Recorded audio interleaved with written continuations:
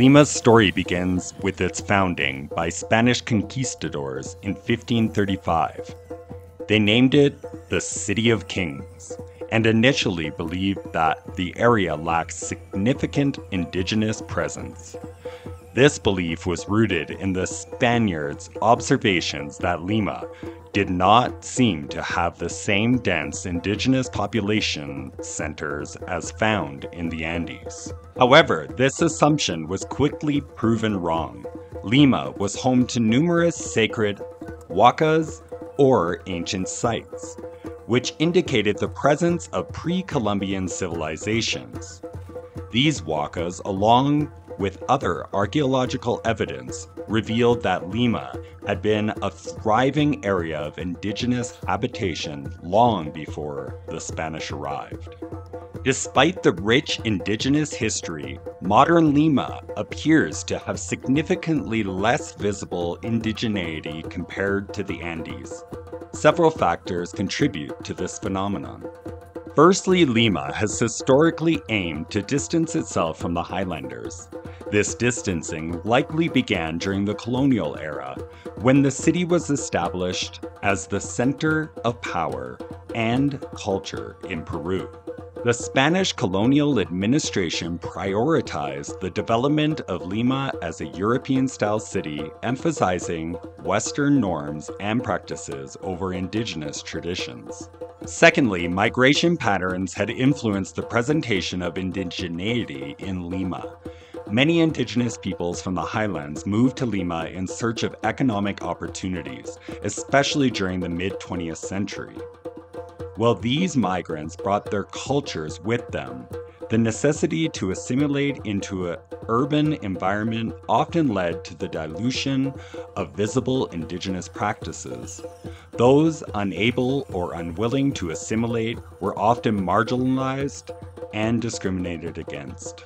Today, engaging with indigenous culture in Lima is often curated for tourists and the upper class. The ancient culture that can be observed is frequently presented in structured formats such as paid performances, such as dancing at La Brisas del Titicaca, and museum tours at the Larco and the Loom. Well, these provide valuable insights and preserve important aspects of Indigenous heritage. They also create a somewhat packaged and contrived version of indigeneity. Lima is renowned for its incredible Peruvian cuisine, which draws heavily on indigenous ingredients and culinary traditions. However, presentation in high end restaurants often reflects Western dining norms. Multi course meals in fancy settings are designed to appeal to affluent diners, both local and tourists, who seek a gourmet experience rather than an authentic representation of indigenous culinary practices. Cusco is renowned for its grand festivals, particularly Corpus Christi and Inti Raymi, which serve as prime examples of how indigenous and colonial histories intermix. Corpus Christi is a significant Catholic celebration observed with fervor in Cusco. The festival showcases a remarkable theme of syncretism where indigenous traditions blend with Catholic rituals. During Corpus Christi, statues of saints and virgins are paraded from different churches to the Cathedral of Cusco. Indigenous communities actively participate, dressing in traditional attire and incorporating music and dance into the processions. The blend of Catholic and Indigenous elements creates a unique cultural expression that resonates deeply with both locals and visitors. In contrast, Inti Raymi, the Festival of the Sun, was revived in 1944 as the central act in the city's celebration of Peru's indigenous inheritance primarily for cultural preservation and tourism. The festival, originally celebrated by the Inca to honor the sun god Inti, was suppressed in favor of Corpus Christi during the Spanish conquest. Its modern revival involves a grand theatrical performance at Sacsayhuaman. With actors reenacting the ancient rituals. While Inti Raymi attracts a significant number of tourists, it also holds cultural importance for locals, serving as a vibrant display of Incan heritage. While Corpus Christi is an active religious observance for Catholics, Inti Raymi is more of a cultural reenactment and the city's main official civic production. Both festivals, however, offer valuable insights into Cusco's rich cultural heritage and provide platforms for both local and tourists to engage with indigenous traditions. Cusco is home to several sacred Incan sites, including Sacsayhuaman and Coricancha, which offer a window into the spiritual and architectural prowess of the Incan civilization. Sacsayhuaman, a massive fortress with intricately placed stones, plays a central role in Inti Raymi celebrations. Tourists can explore the site through guided tours, learning about the, its historical significance and the ingenuity of Incan engineering. However, it's essential to acknowledge that these tours are curated experiences, shaped by historical reconstructions and interpretations. Coricancha, one of the richest temples of the Incan Empire, dedicated to the sun god, was transformed into the Church of Santo Domingo by the Spanish. This site epitomizes the fusion and conflict between the Inca and Spanish cultures. Visitors today can see the juxtaposition of Incan stonework and Spanish colonial architecture, offering a tangible narrative of Cusco's complex history. Cusco's food scene is another fascinating aspect where tradition meets modernity. Visitors can choose between high end restaurants offering a fusion of Andean and international cuisines, or opt for a more authentic experience at their local mercados.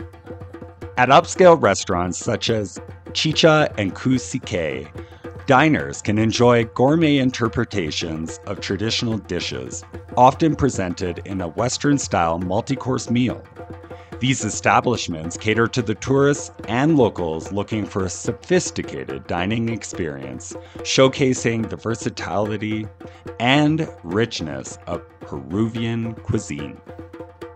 The Sacred Valley is home to several small towns where the indigenous experience feels more authentic and less curated for tourists compared to other regions. In towns like Pisac and Ollantaytambo, the presentation of indigenous culture seems quite genuine. When visiting the ruins in Pisac, Ollantaytambo, and Moray, the tours were informal or self guided. This means we were able to encounter these historical sites as they are, rather than through the lens of a structured tourist narrative. This informal approach allowed for a more personal and unmediated connection with the ancient Incan sites and provided a deeper appreciation for the historical and cultural significance. One of the most enriching ways to engage with indigeneity in the Sacred Valley is by spending time with local Campesino communities. For example, what, on our visit to the Amaru community, we learned about a typical day in the life of an Andean farmer. During this immersive experience, we learned about working the land, cooking food in the earth, and traditional weaving activities. This engagement provided us with a profound understanding of the skills, knowledge, and traditions that have been passed down through the generations. Another way to connect with Indigenous culture is by visiting local schools like Kusi Kawsay, here, traditional cultural practices are prioritized, including the teaching of Quechua, traditional weaving, and land knowledge. These schools play a crucial role in preserving and promoting Indigenous heritage among the younger generation, ensuring that these traditions continue to thrive. While the small villages in the Sacred Valley offer authentic experiences, Machu Picchu stands out due to its status as a world wonder and a major tourist destination. The experience at Machu Picchu is more curated and structured compared to the informal settings of other Sacred Valley sites. Machu Picchu gained global recognition through various historical and cultural efforts, solidifying its status as an iconic symbol of Peru. Its discovery by Hiram Bingham in 1911 and subsequent promotion played a significant role in the bringing international attention to this ancient Inca citadel. While the tourist experience at Machu Picchu may not feel as authentic as in the smaller villages, its prominence has contributed to Peru's reputation as an indigenous cultural hub. The fame of Machu Picchu has had positive impact on the preservation of traditional cultural practices. By attracting millions of visitors each year, it has helped to maintain and promote Peru's rich indigenous heritage on a global scale. This international recognition has provided economic benefit that support local communities and fund initiatives aimed at preserving indigenous traditions and archaeological sites.